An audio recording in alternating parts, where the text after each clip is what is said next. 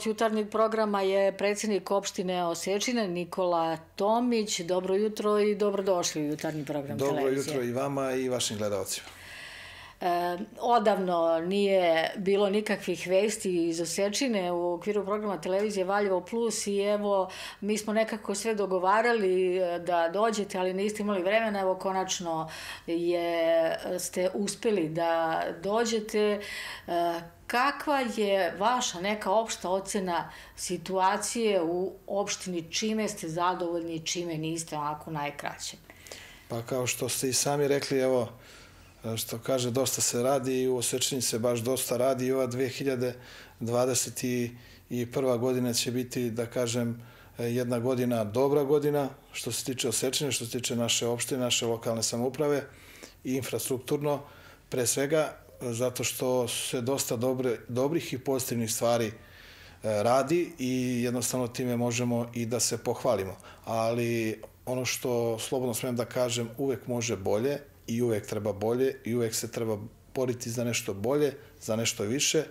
U ovom trenutku ono što slobodno smem da kažem, e, nadam se da će se to dešavati do kraja ove 2021. godine. Ono što nam nedostaje u ovom trenutku jeste nastavak asfaltiranja naših opštinskih i nekategorisanih puteva. To je nešto što nam naši građani traže, što je, to je nešto što nam je preko potrebno. E, zatim rešavanje problema sa našom niskonaponskom mrežom i sa našom elektromrežom, gde smo nasledili dosta problema, tu mnogo, mnogo problema postoji, ali jedna pozitivna stvar jeste da su ti problemi počeli da se rešavaju. I nadam se da ćemo ih u narednih godinu dana rešiti, ako ne rešiti sve, onda jedan veliki deo toga rešiti, s obzirom da e, želim da kažem da smo negde u oktobru 2020. godine počeli da rešavamo te probleme što se tiče naše e, elektromreže. Ne postoji mesna zajednica, ne postoji selo gde ne postoji problem sa strujom. Bukvalno smo dolazili pa i poslednjih 15 dana kad smo imali ove velike količine padavina, e, smo imali dosta problema sa nestankom struje. Čak jedna, dva, jedna, dve mesne zajednice, bukvalno svako veče je dolazilo do prekida u snabdevanju električnom energijom. Znači, to su stvari e, koje ne smeju da se dešavaju, jednostavno sada je sezona i maline i kupine i ljudima je to preko potrebno. E, hvala ljudima iz EPS-a koji na neki način i imaju sluha za sve ove naše probleme. Hvala ljudima iz elektrodistribucije Srbije koji su, koji su nas i takako podržali u svemu ovom i koji nam daju uh, veliki značaj i veliku podršku da se ti problemi reše i ti problemi će biti rešeni u narednom periodu, znači u to sam, u to sam prosto ubeđen. A samim tim, uh, ono što kažem, što sam malo čas rekao, ono što, što nam nedostaje, mora u osjećanju da se otvori pogon nečega, neka fabrika do nekih stotinak radnika. To je nešto što, što nam takođe nedostaje. E, to su stvari e, koje, e, kojima ćemo se boriti i ja kao predsednik opštine i moji saradnici sa mnom, da se u narednom periodu to desi. Sve ovo što sam rekao je nešto što bi dalo poseban značaj i posebnu draž onom što smo uradili i ono što ćemo uraditi u toku ove godine, a imaću priliku tokom emisije da o tome kažem. Snabdevanje električnom energijom, odnosno nestašice česte, zaista su veliki problem i nas su uh, zvali brojni uh, vaši meštani, toga ima ne samo u opštini Osečina, nego i u mnogim drugim selima u okolini Valjeva, tako da uh, je zaista to možda najpre treba rešavati taj problem, ali naravno nije sve u, u vašim rukama, vi možete samo da zahtevate, a EPS mora odgovoriti e, zahtevima građana Srbije i meštana opštine Osečina, ali i svih okolnih sela da se e, taj veliki, veliki problem reši. Tako je, znači verujem da je bilo dosta poziva i ja e, imam tih poziva, znači baš, baš mnogo, ali jednostavno moj telefon je dostupan što kaže od 0 do 24 i svakog sam saslušao i gledao sam na svaki način da iskoristim priliku i da sve to prenesem višim instancama kako bi oni mogli na neki način da deluju, da odreaguju i da izađemo tim ljudima u susret. Imali smo, da kažem, dosta problema. Jedan deo je rešen, kao što je, na primjer, jedan deo tih problema u mesnoj zajednici Dragodol, mesna zajednica Belotić, mesna zajednica Komirić. Znači, delimično su ti problemi e, rešeni. Nastavlja se rešavanje tokom ove 2021. godine, nastavit ćemo u 2022. godini, tako da verujem da, da, da će polako doći e, sve, sve na svoje mesto. E, drago mi je što u nekim trenucima e, ljudi, e, ljudi imaju strpljenja, jer kad vide da se nešto radi, kad vide da su u nekom zasjoku e, podignuti stubovi, podignuto 60-70 stubova, znači da se krenulo sa tim radovima. Kad je u jednom zasjoku podignuto 2 km snopa, odnosno kabla, znači da se nešto radi, da se nešto krenulo rešavati. Znači, samo malo strpljenja i verujem da će se da dođe na svoje mesto. E, evo, rekli ste, dobro bi bilo da se u opštini Osečina pokrene neki pogon. Bilo je reči o industrijskoj zoni. Šta se dešava u okviru? Mi smo 2019. godine kupili 2 hektara.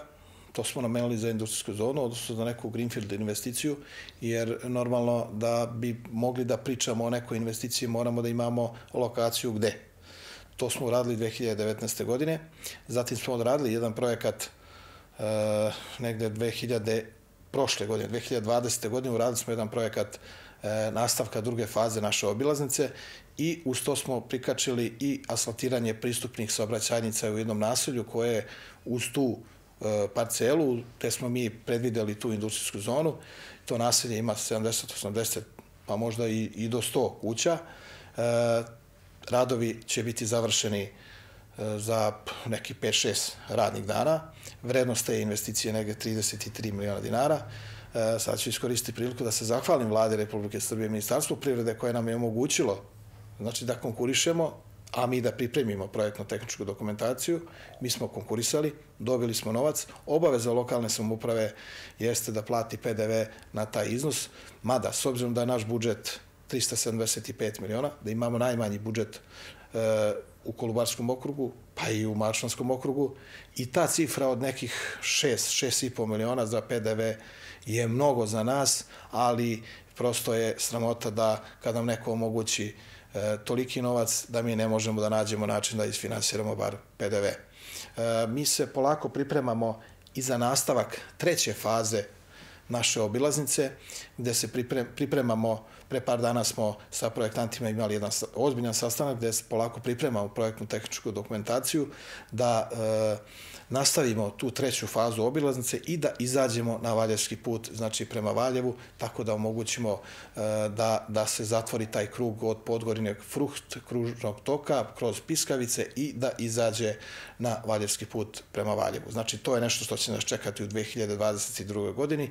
i takođe se pripremamo za konkurs, odnosno javni poziv Ministarstva privrede koji se nadam da će biti u januaru mesecu, ali mi želimo da budemo spremni i da imamo kompletnu projektnu tehničku dokumentaciju i da probamo ponovo da dobijemo taj novac i, i da jednostavno za, završimo tu, tu priču. Evo kad kažete završite tu priču, da li e, je bilo već e, nekog interesovanja za e, one koji bi želeli da dođu tu da rade ili prosto se očekuje od vas neka aktivnost u tom smislu pa da vi pozovete neke investitore koji bi značili opštine Osečina i meštanima opštine Osečina? Pa mi smo imali i komunikaciju sa kabinetom predsednika Republike, a sa tim i prilikom posete predsednika i Valjevu i obilasku radova eh, od Lajkovca do, do, do, do Iverka. Znači, jednostavno sam i iskoristio priliku da i sa njim komuniciram na tu temu kako i na koji način e, treba eh, razvijati Osečinu, treba razvijati Podgorinu i bilo je priča na tu temu da su to pre svega E, putna infrastruktura i da je to jedna greenfield investicija, jedna investicija koja će zaposliti do stotinak radnika, jedna investicija koja će zaustaviti odlazak mladih ljudi e, van teritorije naše opštine, van teritorije granica naše e, lepe Srbije. Znači, to je veoma bitno da se to što pre uradi, jer to je stvar koja će biti pozitivna, pre svega s obzirom i na naš mali budžet će doći do povećanja i našeg budžeta s obzirom da porez, jedan deo poreza na zarade ostaje kao izvorni prihod lokalnoj samupravi. Nadamo se da će imati sluha za sve to i nadamo se da, da ćemo to uspeti da realizujemo u nekom narednom periodu. E, što se tiče e, mene i ljudi, mojih saradnika koji, što kaže, su tu uz mene, borit ćemo se, gledat ćemo na svaki način da, da, da dođemo do tog cilja. Evo, kad ste pomenuli putnu infrastrukturu, rekli ste deo taj koji se radi oko industrijske zone, ali I, e, kao što ste i sami na početku e, rekli, veliki su problemi sa brojnim saobraćajnicama opštine Osečina. E, prilikom bujičnih poplava reke Jadar koje se nažalost dešavaju pored štete koju ona nanese meštanima, njihovim imanjima i kućama, bilo je i odrona saobraćajnica. Svakako to su neke stvari koje nas prate tokom svake godine. Želim da podsjetim da smo mi 2018. i 2019. godine uradili 30 km asfalta na teritoriji naše opštine. Taj tempo je trebao da bude nastavljen 2020. godine, međutim sve ovo sa koronom se desilo i došlo je tu do, do zastoja. Jednostavno i novac koji je bio usmenen za te namere otišao je na neke druge strane. Ja se iskreno nadam da će asfaltiranje ovih naših opštinskih i nekategorisanih puteva, kojih ima oko 1400 km, krenuti uskoro. Mi smo pripremili jedan plan nekih prioriteta od nekih 40 e, km asfalta i nadamo se da bi to što pre trebalo da krene. Nas, e, da kažem, naša, naša opozicija proziva zašto mi radimo i presipamo naše opštinske i nekategorisane puteve. Ali jednostavno, svi oni moraju da znaju i naši građani moraju da znaju. Sada je sezona maline i kupine. Mi smo imali pre desetak dana jednu katastrofu. Jedan petak je bio katastrofa za četiri mesne zajednice. Bukvalno putni pravci su bili u prekidu. Kako ti ljudi da, da prevoze svoju malinu? Kako da prevoze sada kupinu? Morali smo da intervenišemo. Morali smo da naše javno komunalno preduzeće angažujemo sa svojom mehanizacijom i da ih pošaljemo. Čak i vikendom su radili. Čak su radili i u dve smene. Pa smo posle imali subotu i nedelju gde su sva sela oko Pecke imala jednu kataklizmu od kiše koja je nanela mnogo štete putavima pre svega. Tim ljudima moramo da izađemo u susret. Ti ljudi moraju normalno da prevoze svoju robu. Ti ljudi moraju normalno da dođu do svojih kuća. Sad, da li e, će neko da kaže Pa ne, ali niste uradili asfalt. Pa okej, okay. da imamo novca mi bi ga uradili. Ali zato postoji Republika, postoji ministarstvo gde se nadamo i verujemo u to. 2018. godine isto su nam se smijali kad smo pravili taj plan prioriteta. Pa su nam govorili, nema ništa od toga. Tako isto i sada rade. Ali jednostavno, uh, ono što predstavlja program Srbija od 2020. do 2025. godine, i 5000 km asfaltiranih lokalnih puteva, pa sigurno da u tome ima i naše osečine. Sigurno da u tome ima i naše podgorine. Jednostavno, e, kontakti su na dnevnom nivou sa ljudima e, od kojih tražimo e, i prenosimo zahteve naših građana da, na, da naši građani to traže. Znači, jednostavno, i to je jedan od načina da se spreči odlazak ljudi iz sela. Da se asfaltiraju naši opštinski nekategorisani putevi. To je nešto što nam je prioritet. Jednostavno, kad dođemo u selo, samo dva problema postoje. Put i struje. Sve drugo na neki način se polako reši. Ali ovo su dva ključna problema. I to će biti naš prioritet što se tiče naših seoskih mesnih zajednica. Znači, to su stvari kojima, ću tež, kojima težim i ja, kojima teži i moji saradnici i to će biti naš, naš prioritet što se tiče svih tih mesnih zajednica koje postoje na, i koje, gde ljudi žive na visokim na, e, nadmorskim visinama. Kad ste rekli od 2018. pa evo 2021. Šta je u tom periodu urađeno od onog što je obećano, da tako kažemo, s obzirom da ljudi uglavnom gledaju u tom kontekstu kad e, prozivaju? E, pa e, shvatite samo jednu stvar da vam kažem. Ljudi su videli da je posle decenije i više decenija na teritoriji naše Podgorine urađeno 30 km asfalta. Ljudi veruju i ljudi shvataju da se nešto radi, da se nešto dešava. Kad ljudi vide mašine u Osečini, kad ljudi vide mašine u Peckoj, kad ljudi vide mašine po našim selima, ljudi veruju da neko radi, da neko brine o njima da će neko da im omogući da mogu normalno da prolaze tim putevima. Mi svakako našim budžetom, e, što se tiče održavanja naših puteva, mnogo više novca izdvajamo nego što je to izdvajano prethodnih godina. Zašto? Pa zato što smo shvatili koliko je to bitno našim građanima za normalno funkcionisanje. Jednostavno to tako mora. To je naša E, to je deo, e, jednostavno to je deo života.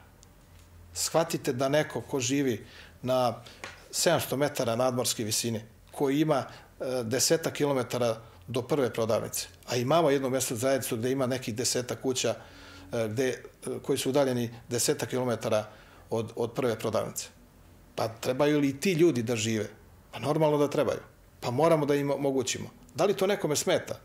Pa normalno da smeta, zato što su ti pojedini imali priliku da u nekom prethodnom periodu pokažu i dokažu ono što su znali. To nisu uspeli. Mi to sad hoćemo, mi želimo i uvek ćemo se boriti za naše građane. E, kad govorite o, o e, Varošici Pecka, koja je posle Osečine najveća u opštini Osečina, E, šta e, se tamo radi ovih dana, kakva je saradnja sa e, privrednicima kojih tamo ima? Što se tiče Varošice Pecka, je jednostavno, videli ste i sami pomen i našeg predsednika tunel kroz Proslop. To je na 2-3 km od centra Varošice Pecka. To je stvar koja, kad se bude realizovala, verujemo da hoće, će mnogo mnogo da probudi tu, tu varošicu pre svega, s obzirom da je u tom e, nekom idejnom rešenju koje je uradio institut CIP, e, predviđena i obilaznica, obilaznica oko Pecke e, na stranu prema, prema Osečini i to su stvari koje mi jedva čekamo da se dese. Što se tiče privrede, mi smo imali jedan problem sa našom zemljoradničkom zadrugom koja je otišla u stečaj, pa smo imali jednu godinu gde je Varošica Pecka bila jedno da kažem, život je bio stao u jednom trenutku. Međutim, ZZ Pecka je prodata, došla je jedna privatna firma Fortis, koja je u ovom trenutku zapošljava nekih 60 radnika, koja je na neki način veoma, veoma bit, bitan privredni subjekt koji radi i posluje na teritoriji ne samo Varošice Pecke, nego na teritoriji naše opštine, znači gde pored Podgorni frukt koji je jedan veliki gigant, zatim Krušik plastike, ali kad ste mi pitali e, vezano za Pecku, znači sada tu u Fortisu ima 60 radnika, e, veoma je bitno da e, se ljudima omogući posao, da se ljudima omogući egzistencija, a samim tim i poljoprivrednim proizvođačima je bitno da mogu svoje proizvode da plasiraju tamo gde su godinama radili, znači na tom istom mestu, a e, tim ljudima koji su kupili e, zemljanačku zadrugu omogućuju omogućuje da u nekom narodnom periodu, a nakon razgovora sa njima, znači verujem da će se desiti i ulaganja i širenje e, tih proizvodnih kapaciteta i verujem da će, što privredno Varošica Pecka u nekom narednom periodu izgledati mnogo, mnogo drugačije. Upravo zahvaljujući i Fortisu, pored Fortisa imamo još dve tu hladnjače. Jednostavno, našim, našim građanima, našim poljoprivrednim proizvođačima je omogućeno da mogu svoje proizvode na najbolji mogući način, na najbrži mogući način. Zato sam malo čas i rekao koliko su bitni putevi, jer putevi spajaju i povezuju ljude. Kako će e, čovjek da doveze 500-600 kg maline do, do hladnjače putem koji je voda odnela? Pa prosto je nemoguće. Evo, pored puteva radili se i na nekim drugim postrojenjima važnim za komunalnu infrastrukturu opštine Osečine. E, što se tiče komunalne infrastrukture, mi smo, evo, tu nadomak realizacije jednog ozbiljnog projekta, a to je postrojenje za prečišćavanje otpadnih voda, jedna investicija čija je vrednost nekih milijon i po eura. E, očekujemo da se uskoro raspiše javna nabavka, mi smo u onom delu koji, se, koji je ostao pri Ministarstvu zaštite životne sredine i pod, što kaže, njihovim smo patronatom i očekujemo uskoro da se ta investicija realizuje. Samim tim mnogo nasleđenih problema na kanalizacijnoj mreži u Osečini. To su problemi koje postoje posljednjih decenija. Loš kvalitet radova e, na kanalizacijnoj mreži posljednjih decenija. Znači, mnogo problema imamo. To moramo, kad krenu ti radovi, da realizujemo. Kako? Ni sam ne znam kako, ali e, ono što znam, znam da moramo. Te probleme moramo da rešimo. Biće mnogo teško, ali jednostavno nazad nema. To mora da se reši. Da li je neko odgovoran za to? Pa sigurno da jeste. Da li e, ima vremena da se traže ti koji su odgovorni za te stvari koje, koji su rađeni onako kao što ne treba. Prosto vreme ne može da čeka mi moramo da gledamo na svaki način što pre te probleme da rešimo. I rešit ćemo ih. Jedna mlada ekipa ljudi ima i volju i želju i energiju da to realizuje. I uspećemo u tome. To što se tiče osečenja. Što se tiče Varošice Pecke, takođe, e, do kraja godine uradit ćemo projekat kanalizacione mreže i postrojenja za prečićavanje otpadnih voda za Varošicu Pecku. Želimo jednostavno da, rešimo i taj problem u Varošici Peckoj. Jednostavno, da na neki način i ti ljudi shvate da problem kanalizacije, problem prečistača je nešto što će se dešavati i što će se realizovati i u narednih godina. Mi moramo da budemo spremni i da što pre i taj projekat ubacimo u vatru i da ga što pre realizujemo. Kad sam pomenuo Pecku, uh, uradili smo projekat sanacije korita reke Dragodolke koja prolazi kroz Varošicu Pecku koja je načeta poplavama 2014. godine i ništa na njoj nije rađeno ni danas, do današnjeg dana. Odradili smo jedan uh, projekat, odnosno elaborat hitnosti izvođenja radova na sanaciji uh, tog uređenog korita, uh, reke Dragodolke koja, koja prolazi kroz Varošicu Pecku, dela reke Carinke i uređenog dela reke Pecke. 2020. godine 22. juna smo imali strašne poplave. Ono što je načeto u Peckoj na tim rekama 2014. dokrajčila je kiša i dokrajčila je voda 2020. godine. Znači, jednostavno smo shvatili koliko je to bitno da se uradi. Jedno ruglo, sada, to, to, to baš predstavlja jedno ruglo kad se ulazi u Varošcu ili se izlazi iz Varošce pa se baci pogled na, na reku Dragodolku i jedan deo reke Carinke i reke Pecke, znači bukvalno ni na šta ne liči. Znači to je stvar koja se nalazi već u kancelariji za upravljanje javnim ulaganjima. Ja sam i u petak imao jedan sastanak u kancelariji vezano za tu temu i nadamo se da će uskoro krenuti realizacija i tog problema. Evo, rekli ste, ni sam ne znam kako. U čemu je problem? Da li e, samo u novcu koji je uvek fali ili i u e, kvalitetnim izvođačima radova, jer kako kažete u prethodnom periodu to nije odrađeno na pravi način. Pa shvatite samo jednu stvar. E, novac jeste problem, ali već ako radimo i ako smo došli do tog novca i ako nam je neko omogućio taj novac za neku investiciju. Pa hajde da taj novac utrošimo na pravi način. Hajde da nešto uradimo Postrojenje za prečišćavanje otpadnih voda ne radi se svaki dan, ne radi se svake godine. Kanalizacija ne radi se svaki dan, ne radi se svake godine. To su stvari o kojima nema razgovora. Znači, a da, da sam upravo ovo što pričam, pa mi smo imali urađen projekat postrojenja za prečišćavanje otpadnih voda, ovo je treći put da radimo projekat postrojenja za prečišćavanje otpadnih voda. Pa imali smo urađen projekat 2019. godine. Platili smo ga 4,5 miliona. Došli smo u situaciju da sa njim apliciramo kod Kancelarije za upravljanje javnim ulaganjima.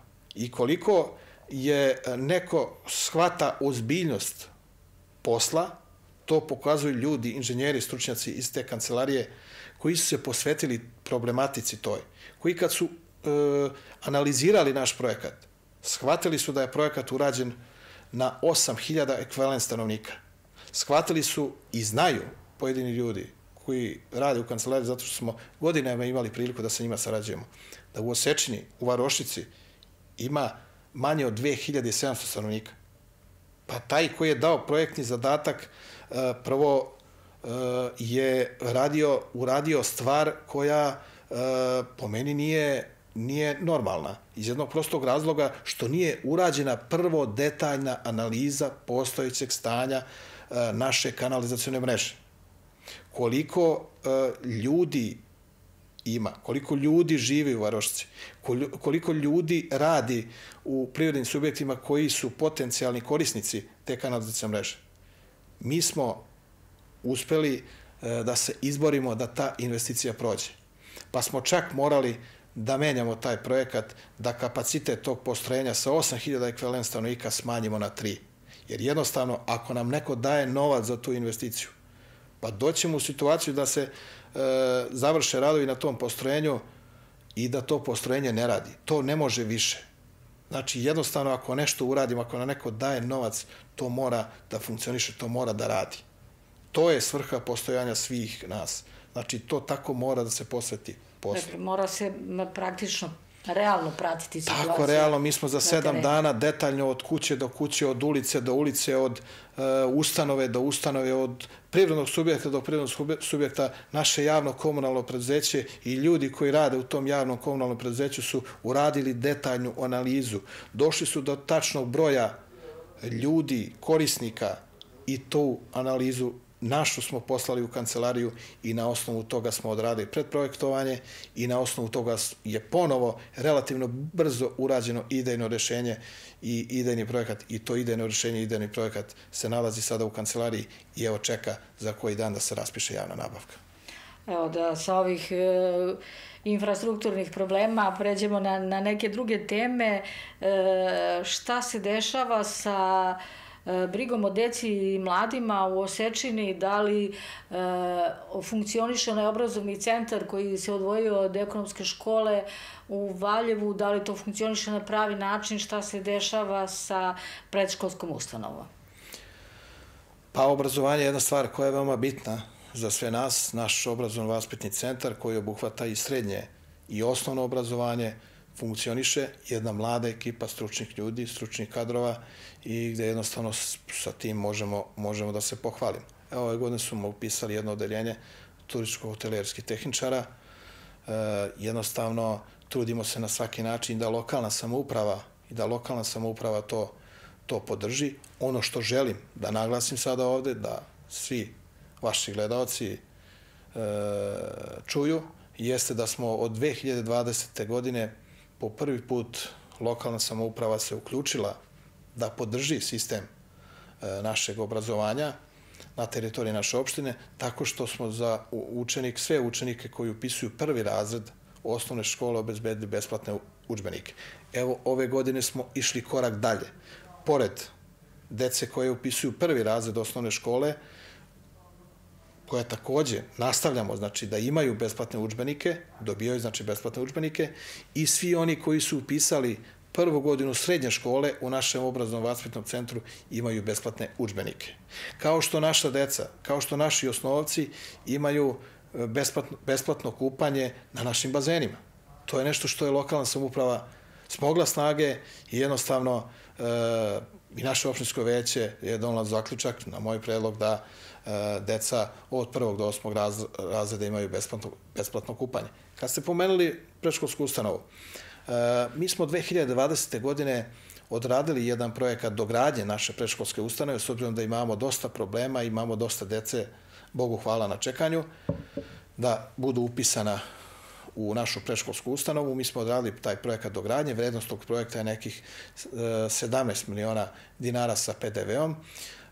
Prošle godine smo u jednom trenutku e, javili se na javni poziv Ministarstva državne uprave i lokalne samouprave, dobili 9 miliona, međutim desila se korona, pa nakon toga su ta sredstva prepolovljena i dobili smo 4,5 miliona. Mi smo izdvojili iz našeg budžeta nekih ako se ne varam, 6 miliona i sa nekih 10 miliona radova odradili jedan veliki deo posla u toku 2020. godine.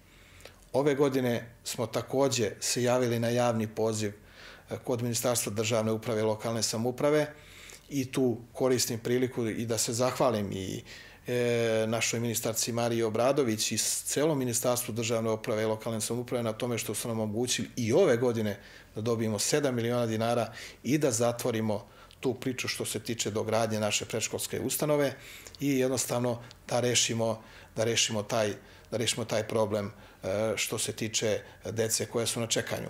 Mi imamo problem i sa e, starim deo starim delom naše, naše predškolske ustanove, gde nam jednostavno jedan, u jednom delu i prokišnjava. To je bila moja opaska na, na mojoj prvoj poseti toj predškolskoj ustanovi.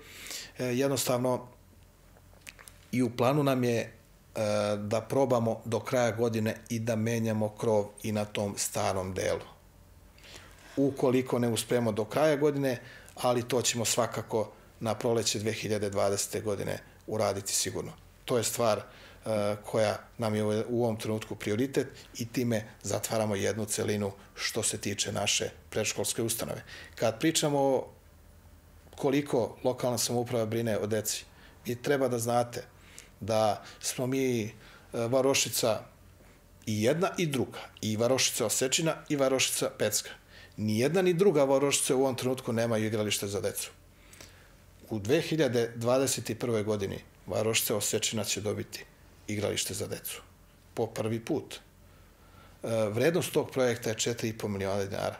I tu smo iskoristili priliku nekog ministarstva, tačnije ministarstva zaštite životne sredine, koja su raspisala javno, javni poziv e, za dodelu za raspodelu sredstava, znači za zemljište koja su devastirana zemljišta i mi smo odradili projekat, konkursali tim projektom, učešće lokalne samouprave je 20%, 903.000 smo u budžetu opredelili, za to od ministarstva dobili 3 miliona i 700, jednostavno to je stvar s kojom e, se i ja ponosim i svi mi se ponosimo, jednostavno da je to Varošte Osečina po prvi put ima igralište za decu. Što se tiče Pecke, to ćemo uraditi naredne godine, jednostavno ćemo iskoristiti priliku, pa ćemo izvojiti novac i mi i probati da dobijemo iz nekih drugih izvora sastava, znači da i Varošica Pecka ima igralište za decu, znači jednostavno da shvate da, da, je, da, da su i Osečina i Pecka jedna celina, da je to jedna opština, da je to Podgorina i da je to nešto što uh, predstavlja prioritet svima nama. Evo, odužili smo ovaj naš razgovor, ja gledam, e, bit će prilike svakako da mi brojne teme e, iz Osečine, iz opštine Osečina e, razmatramo i u narednom periodu i naravno naša ekipa će doći i u, e, kod vas da vidimo kako to sve izgleda na terenu. I evo, ovaj razgovor da završimo, šta se dešava sa sajmom šljiva, pretpostavljam da li, da li su pripreme u toku, ili uh, je sve pod znakom pitanja s obzirom na no, neke nove najave pogoršavanja epidemiološke situacije? Ja ću sada iskoristiti priliku da vas pozovem da dođete što pre, zato što uh, će u Osečini uskoro krenuti i rekonstrukcija naše bioskopske sale. Dobili smo 8 miliona od Ministarstva kulture i 3 miliona smo mi opredelili iz budžeta. Znači 11 miliona će biti uloženo u rekonstrukciju i adaptaciju naše bioskopske sale, tako da jedva čekam da dođete da, da slikate nešto lepo, da slikate osečnu koja je, će u ovoj 2021. godini biti, biti gradilište. A takođe kad budete došli, ako Bog da ove godine da imamo naš 16. sajam šljiva u Osečini, koji će se održati, nadam se održati 27., 28. i 29. augusta, da vidite i radove na dogradnji druge faze našeg sportskog centra, pošto smo od Ministarstva privrede dobili 6 miliona 800 po osnovu oportuniteta, takođe smo i tu uradili projekat, konkurisali i dobili novac za to. Kao što ste imali priliku da čujete e, tokom o, o, ove moje priče, ovog mog izlaganja, da gde god smo za ovih 10 meseci aplicirali i konkurisali, da smo novac dobili. Vraćajući se na sajam i organizaciju ovog našeg 16. međunarodnog sajma Šiva u Osečini, slovom smem da kažem, što u organizacijalnom smislu mi smo već uveliko podmakli u svemu, očekujemo veliki broj izlagača pre svega, očekujemo veliki odziv naših poljoprivrednika, očekujemo e, dosta posetilaca, nadamo se još jednom da će sve ostati bar kako je sada i da ćemo moći i da, i da organizujemo i koncert, da ćemo moći da organizujemo i taj izlagački deo u našoj sportskoj hali. Jednostavno, e, mi svakako se pripremamo za to. Nadam se da će biti u narednih mesec dana prilike da pričamo baš o sajmu, o toj sajamskoj manifestaciji, znači gde ću moći da iznesem e, sve ono što predstavlja program našeg sajma, ali što kaže, e, ja verujem da će epidemiološka situacija ostati ovakva kakva jeste i da ćemo moći, znači 27. 28. i 29. augusta da održimo naš sajam šljiva 16. ove godine po redu. Da podsjetim da u 2020. godini nismo imali i nismo održali naš sajam šljiva, ali smo jednostavno iskoristili priliku te smo 14. oktobra 2020. godine pozvali sve naše poljoprivredne izlagače, pozvali sve naše e, privrednike koji su došli i na neki način smo obeležili taj sajam kako? Tako što smo tim ljudima, tim našim poljoprivrednicima uručili jednu zahvalnicu u smislu e, doprinosa prethodnim sajamskim manifestacijama. Jer da nije naših poljoprivrednika, da nije naših privrednika, tog sajma ne bi ni bilo. Oni su najbitniji. Tim poljoprivrednici smo omogućili i kupili smo e, preko naše turističke organizacije refraktometre. Ti refraktometri su uređaj koji mere sadržaj suve materije. A šta je smisao i poenta toga? Smisao je poenta toga jeste da ti naši poljoprivrednici e, mogu da prave proizvode od šljive, džem, pekmez, slatko, šljivani kolač, e, mnogo, mnogo kvalitetnije nego što to jeste i da samim tim po, poboljšaju kvalitet tih svojih proizvoda. Evo, vrijeme je da završimo ovaj naš razgovor. Hvala vam na gostovanju u jutarnjem programu televizije Valjevo Plus. Gledalci, meštani Osečine, opštini Osečina su vas čuli. Dakle, na vama je da realizujete to o čemu ste pričali. E, veliki je posao pred vama, naravno i meštani imaju e, velikog posla i u poljoprivredi i u svemu ostalom što se radi tamo, tako da zasigurno kad, rekla sam već kad i mi dođemo tamo pa vidjet ćemo šta se od te priče koju smo sada čuli Svakako, dešava. evo, hvala i vama što ste me pozvali. Nadamo se da će biti prilike da još pričamo o svim ovim temama i eto želeo bih da što pre dođete u Osečinu, da eto vidite da sve ovo što sam pričao, da se realizuje, da sve ovo što sam izneo, da je istina I još jednom ću samo reći, prioritet je briga o našim građanima, gdje god da oni žive. Da li da žive u Varošici Osečini, Varošici Peckoj, ili žive u našim seoskim sredinama i našim seoskim mesnim zajednicama. Znači, e, briga o građanima je prioritet. Hvala vam još jednom. E, dakle, gost jutarnjeg programa televizije Valjevo Plus bio je Nikola Tomić, predsjednik opštine Osečina, a mi jutarnji program nastavljamo reklamama.